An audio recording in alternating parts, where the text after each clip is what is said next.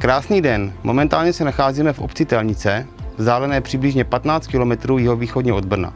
Dnes si představíme krásný dům o dispozici 3KK s velkou terasou, příjemným posezením a parkovacím stáním. Jedná se o třípodlažní řadový dům v klidné části obce na konci slepé ulice. Vstupem hlavními dveřmi se dostáváme do chodby, ze které můžeme dále pokračovat do hlavní společenské místnosti. Ta se skládá z praktického kuchyňského koutu, vybaveného vestavěnými spotřebiči, jako je míčka, varná deska, lednice, mikrovlná a horkovzdušná trouba. Dále pak z obývací části, která umožňuje vstup přes francouzské dveře na útulné posezení za domem s elektrickou markízou.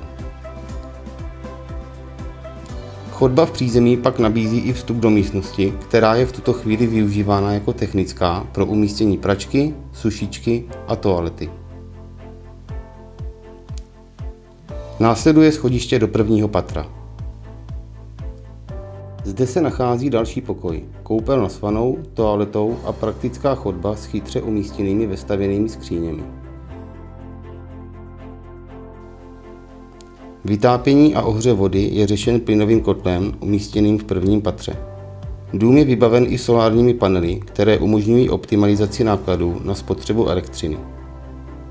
Z prvního patra následuje i vstup na velmi příjemnou a prostornou terasu o výměře přes 20 metrů čtverečních.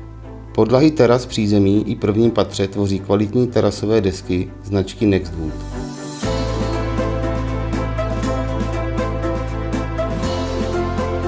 Jako poslední nás čeká cesta po schodišti do druhého patra, kde se nachází podkrovní pokoj s namíru zabudovanými úložnými skříňkami z masivu.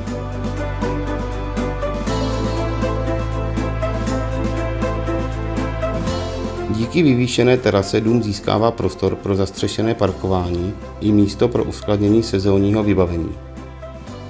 Pro tento účel slouží i velký sklep o výměře 13 metrů čtverečních. Obytných místnostech a na chodbách je kvalitní vinilová podlaha.